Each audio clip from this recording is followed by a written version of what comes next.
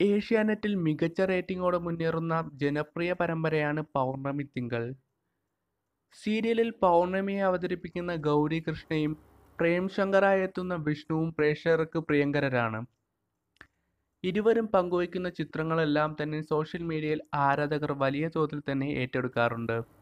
ഇപ്പോൾ താരം പങ്കുവച്ച പുതിയ ചിത്രത്തിന് താഴെ സംശയങ്ങളുമായി എത്തിയിരിക്കുകയാണ് പൗർണമി തിങ്കൾ ആരാധകർ.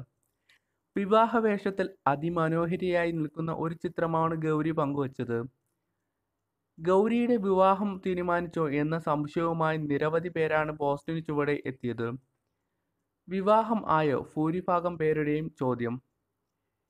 എന്നാൽ ഇപ്പോൾ കരിയറിലാണ് ശ്രദ്ധയെന്നും ഉടൻ വിവാഹം ഉണ്ടാവില്ലെന്നും ഗൗരിയുടെ മറുപടിയും എത്തി.